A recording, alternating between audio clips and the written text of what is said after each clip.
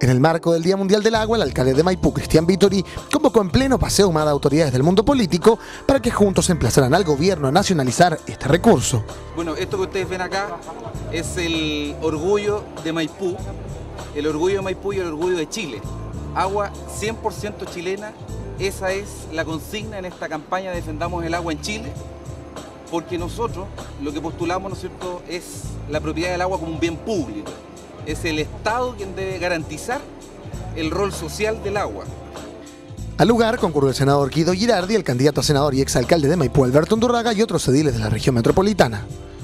Porque sin agua no se puede vivir.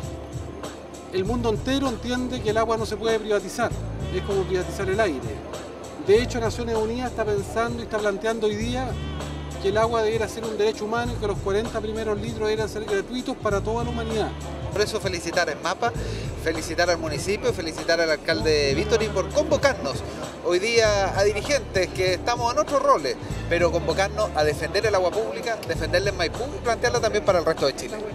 Al mismo tiempo, SMAPA, como única sanitaria del país 100% municipal, hizo entrega de mil botellas de agua que fueron repartidas por las autoridades a los transeúntes que además firmaban su apoyo a esta iniciativa. Porque el agua de todos los chilenos se están lucrando algunos con el agua, como se están lucrando con la minería, con, el cobre, con todo.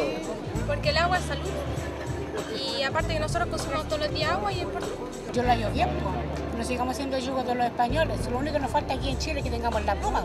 En el centro de Maipú, en tanto, se realizó la Feria del Agua, en donde variadas iniciativas ligadas al ahorro y eficiencia del vital elemento fueron la pieza fundamental de la actividad. Encuentro buena la iniciativa que tomó la municipalidad porque o sea, el tratamiento del agua y todo esto nos ayuda bastante a nosotros. Eh, me parece una actividad muy entretenida, eh, eh, interesante para aprender un poco más de, de este tema que es del agua, de mapa.